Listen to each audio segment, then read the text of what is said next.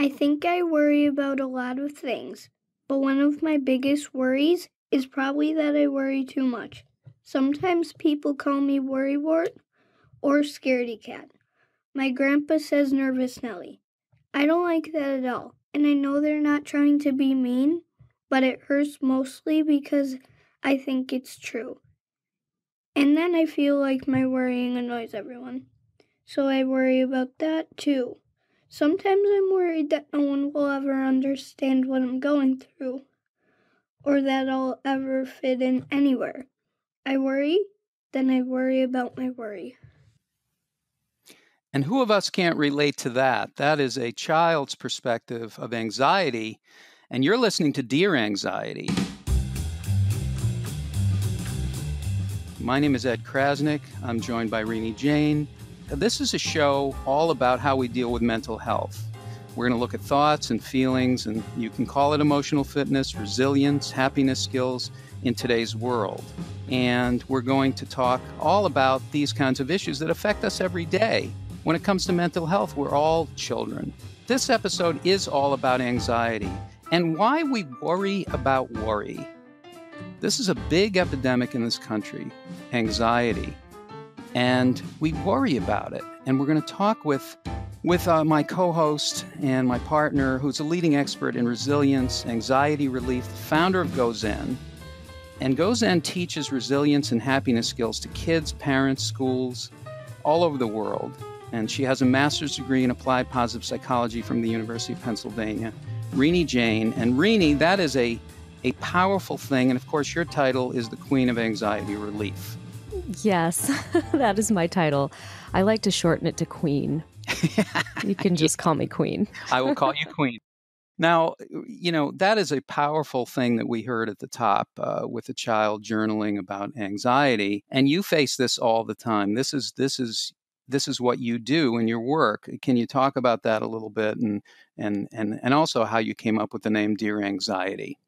Yeah, you know, I mean, what we heard at the top of the show is something that I'm hearing day in and day out. That was really raw. That is coming from an eight year old child that's not only talking about the fact that she worries, but this really metacognitive perspective, this observation that she's worrying about the fact that she worries wow, that is unbelievable to me. And it really kind of takes me back to my own childhood. You know, it, it hits me in that place. So you asked about the show name, Dear Anxiety. I think it's time to talk about it. I think it's time for everybody to talk about it. And mm. what better way than to write a letter, whether that be voice recording it or whether you're writing it in a diary. But this is it's time to talk to the elephant in the room, which is anxiety. So, yeah, and the elephant in the room is actually sitting on my head uh, because that's where it exists for a lot of people. It's it's coming from inside myself. And you uh, started a company called GoZen, and you know, I, you you mentioned about your own childhood. Can you just give us a little background about how you came to to work on a company that that deals with resilient skills and that believes that happiness is in fact a skill.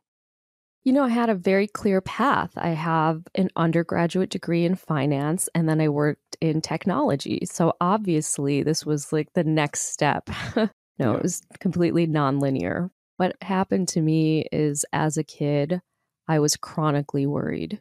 You know, what if I don't get to go to the dance? What if I don't do well on this test? What if everybody sees I'm different? I what ifed all the time to the point where it disrupted my social life, disrupted my sleep, and it disrupted the well being of my entire family to the point where I could see the pain in my parents' eyes, my loving, compassionate, amazing, supportive parents that couldn't help me. They didn't know what to do. And so I, at the time, decided to just build this force shield around myself. I said, I'm going to build an emotional force shield. So no feelings will go in or out. This is the perfect solution to this. So uh, when my mom would ask me, you know, what's going on? How's school? You're not talking about being worried anymore. I would say, oh, everything's fine. It's just, you know, I was going through something. It's fine. I'm fine. And I did that, I literally became an emotional stoic. You know, so it started around age seven or eight and went all the way until my mid 20s. And um, I never learned any skills of resilience. So when I first, when I faced my first adult challenge, which was a big breakup, basically a relationship breakup, I didn't know how to cope. And so I started having panic attacks. All of that pain that I had stockpiled for years and years, all that worry that I pretended wasn't there came rushing out, gushing out, exploding out in the form of panic attacks. Fortunately, at that time, I found an amazing therapist. And my therapist kind of looked like Freud. It was sort of funny. And uh-huh. he's talking to me and giving me these skills. So I was a traditional talk therapy, which is based in cognitive behavioral therapy. He's telling me that, you know, not everything you think is true. I'm like, excuse me? What? What was that? Yeah, you um a lot there's a lot of inaccuracy in thinking this way and there's a lot of inaccuracy when you worry. And so he started teaching me these skills of being able to think accurately and I just I pointed my finger up one day and I literally shot up from that sofa I was lying on it and I said, Excuse me, do you have a time machine? Because I want to go back to the eight year old version of myself and teach myself these skills. Why couldn't I have learned? And so it's one of those times in your life you have a moment of clarity, right? A complete epiphany. And you say, I have to change my life. I left my tech career. I went back to school. I became a certified life coach. I got a master's in positive psychology. And I started creating animations for kids to teach them the skills I really wish I learned when I was a kid. And that was the genesis for GoZen. Yeah, it's it's an amazing uh, amazing story, and uh, and and and really, GoZen is used by so many people. And the first thing that you realize is that when it comes to mental health, we're all kids. We're all learning for the first time. No one is a real, you have to practice these skills, just like physical fitness. Look, if you want to get healthy, you go to a gym. But if you want to be mentally fit, where do you go? What do you do? nobody, you know, we're we're a country that's based on illness. We're based on surviving illness. We're not based on being well and learning. And what does that even look like for people? What is it to be well? And that's what we're going to explore in the show. We'll have different topics, but today we're focusing on anxiety, like Renee was talking about, and also about the worry about worry that people think that when you have these thoughts and feelings, first of all, they're you, and secondly, there's something wrong with you for having them. So I guess I want to, uh, we're going to talk a little bit here about how parents deal with kids who suffer from anxiety. And, and I guess the first thing, Renee, I, I want to ask is what, you know, you experience this all the time. What, what is it that, what is it that, that parents have to deal with when they're dealing with kids who suffer from anxiety? And I do want to jump into that in a moment. But Ed, uh, we would love to hear from you. So I told my little story of how I came to GoZen, to founding GoZen. But how did you come to this podcast? You're an Emmy winning writer, a comedian, and now you're on Dear Anxiety with me. What's up? What's up with that? I basically, um, yeah, I mean, my whole life, like you, I had feelings and thoughts that I thought, you know, I thought there was something wrong with me for having feelings. I really did think that I was, not only did I think that there was something wrong with me, I thought I was bad. That's what I used in my head. I was bad. And I was so immobilized by um, depression and anxiety that I couldn't get out of bed. So outside my room, I would hear the voices of kids on the way to school, and I can't move. So this happened off and on for many years and I've done a lot of therapy um, and a lot of studying and a lot of made a lot of mistakes. And uh, if psychotherapy could be converted to frequent flyer miles, I'd be eligible for a free trip to Pluto. There's no question about that. But the rewards points that I get are that I get to um, learn that not only am I not a bad person, but I'm just a human being and that these feelings and thoughts are not me. Now, this is a daily thing because sometimes I think they are me. And then I have to actually practice a skill. And now I have a daughter who's going to be about to be 14. And I have to learn some very specific skills with her. She's a brilliant person, brilliant uh, writer, and all kinds of things, very compassionate person who is now suffering from anorexia. So, one of the skills that we're going to talk about in our next uh, in our next little bit here, because the show we, we want to teach some skills that people can actually use, um, is how to validate somebody who is very upset and who is experiencing a lot of distress and anxiety and not escalate, not join them in the anxiety, but hold the ground for them. Yeah. And thank you, Ed, for sharing with such candor, you know, the experience that you've been through and that you're going through. And that's what we're really going to try to bring to this show. And you were asking me earlier what parents have to deal with. And I think, you know, what you're saying right there with the ability to hold space for a child, you know, so we heard a child speaking at the beginning of the podcast talking about worrying about their worry. And this might be something that you're dealing with in your own home. And maybe you've heard it a thousand times. So you're starting to lose your patience. So I wonder what we can do to help our listeners. Ed, what do you think? Well, the first thing that I, you know, that I want the, the listeners to know is that sometimes you hear people talking if if you hear people talking about this stuff it seems like they know it all they experience it all they're perfect they're experts i'm a hot mess uh, let me just say that i'm not blaming myself i'm not but in today's vernacular i'm a hot mess okay and i can still talk about my mental health i don't have to be perfect i don't have to be an expert i don't have to know how to do it all so even when we practice these skills it's going to look different in your house you're not going to be perfect with it. But the point is to be conscious about what you're doing as opposed to just live on autopilot. Because if you're living on autopilot, you're going to be unhappy. That's what we want to what we want to talk about here. I mean, and the, and the first thing is when your kid is experiencing distress and yelling or screaming or having a lot of emotion, what is it that you can do? What do you do? I think the first thing that we have to do in order to maintain a connection with our kids is to empathize. And for those of you who may be rolling their eyes, oh my goodness, empathize with what's going on with my child, especially if they're acting out and their behavior is not the behavior that you want to see in the house is really hard, especially again, like I said earlier, if you if your child is exhibiting something repeatedly and you're just depleted, you know, this can be hard practice.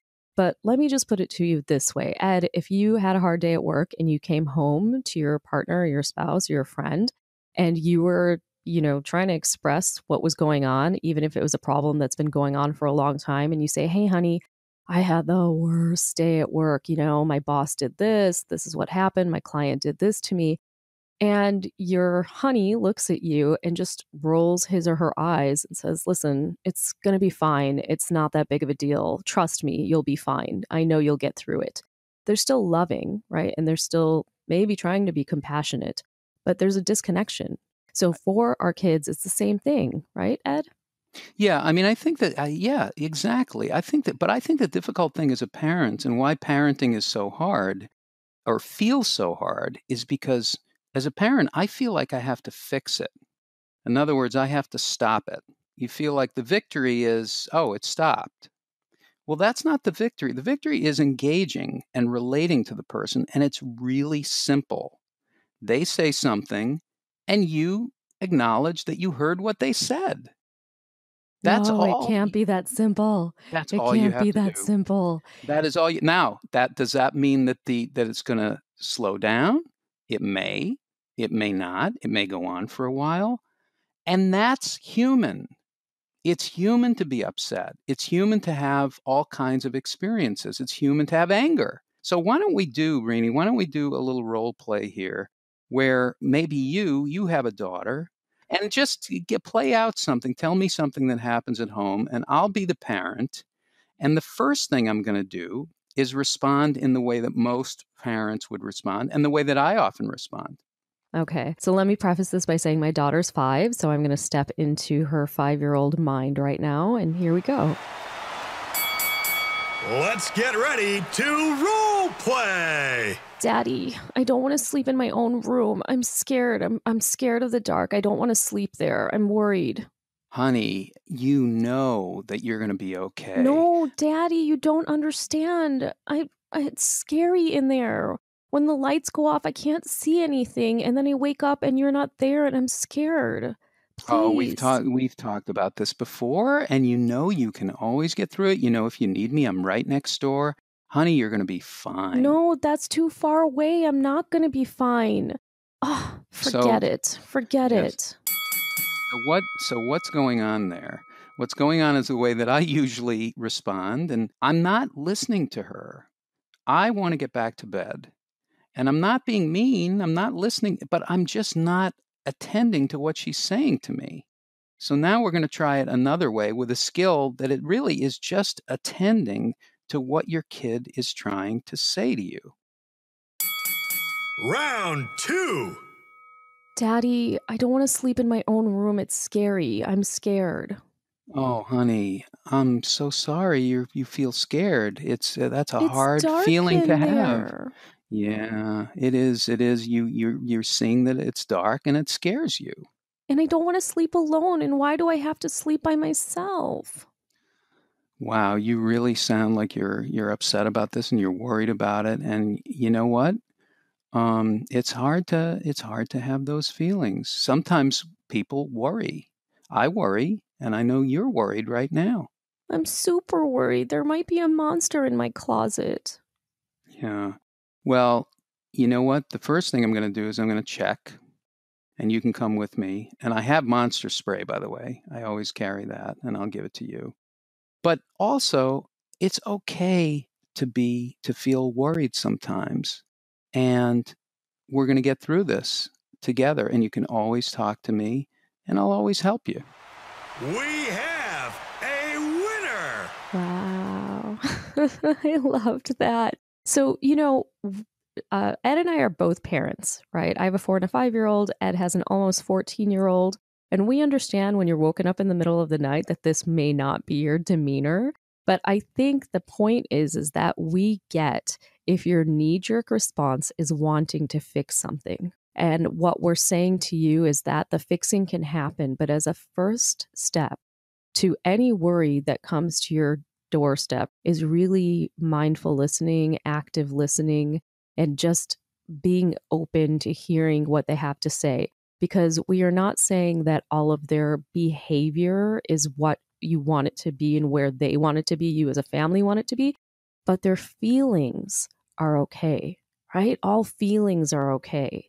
So we're just talking about the ability to to be open and listen as a first step Yeah, and I think I think what happens is you you want to match what their energy is. You're you're thinking I got to match it, or uh, often what happens to me is I speed up. Like what's going on inside is I start to panic a little bit because I feel like I'm tired.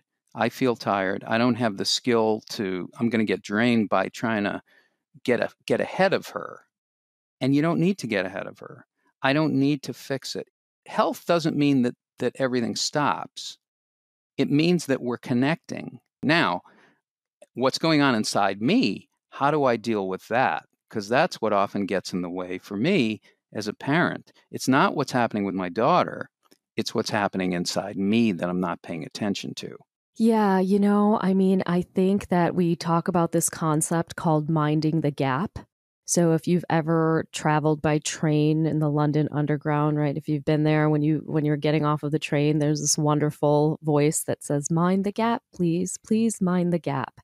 And the interesting thing is that between something that triggers you and your reaction, there is about a four second period where you can really mind the gap between the trigger and your reaction, and you can bring yourself down from a ledge. And so, the first step for any parent in a situation where you're getting triggered is to mind the gap. And that takes practice, but there are a lot of skills that we're going to talk about throughout our shows where you can work on that, right? So, the first step is obviously your own self regulation. It's your own ability to find that centered being that your child needs to guide them through this, right? And to know that you're their guide. You are not in control of everything that happens in their life, nor would you want to be, right? They are here to have their own experience, but you are their guide. And in order to be that best guide, that best advisor, you really need to mind the gap before you do anything. And if you're having a situation in your home that's happening repeatedly, so repeated waking at night, repeated need for reassurance, repeated whatever the repetition is of, of the triggering event, then you should expect that this is what's happening in your home right now. And you can practice yourself because you do have control over that gap for yourself. So you're trying to create a pause in, in terms of what's going on so that you can sort of gather yourself. And uh, and how, how do you do that, Renee, in your in your house? So I practice all these skills myself. I am definitely, it is not utopia in my house. As I've said before, I have a four and a five year old, and they're, you know, what would be called quote unquote highly spirited kids. We have a lot going on in the house all of the time, and I definitely get triggered. There are things that whoop, I can feel it. So, one of my go to techniques is to notice and name what's going on in my own body. So, I will say, and it looks a little cuckoo because I'm doing it out loud for the most part, I'm feeling a tightness in my chest.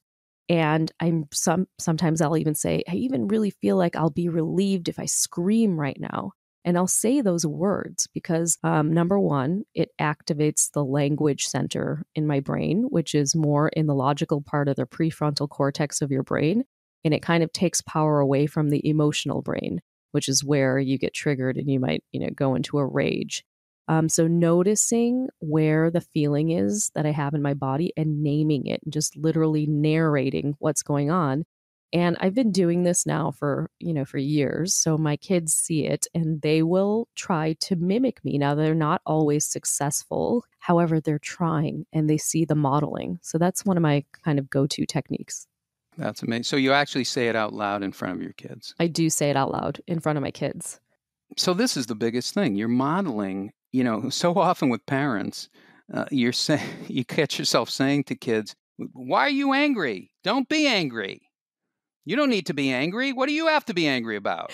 The irony in that is never lost on me. We're yelling at our mm. kids not to yell. We're getting angry at them not to get angry. it doesn't we know it doesn't make any sense. Sometimes we feel like we can't help it. You know, it's our way to control a situation that we feel is out of control. And I think that that's the case with so much of, of life is that you think, I can't take a break now, or I can't pause I have to react. My, my whole body is telling me to do something. One of the things that, that I do, and this is rare, but when I've done it, it's worked really well, is I ask myself a question in my head, real quick. Would I rather feel this way or would I rather be free? And when I ask myself that question, everything stops.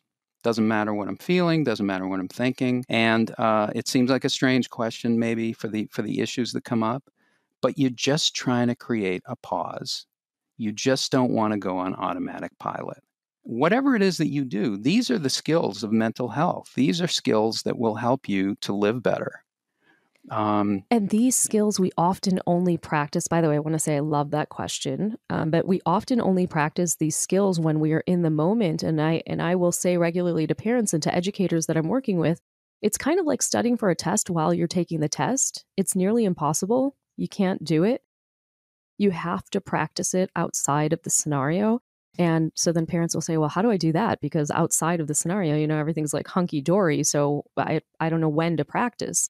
And I always go to role playing. So you heard Ed and I doing a role play just now earlier.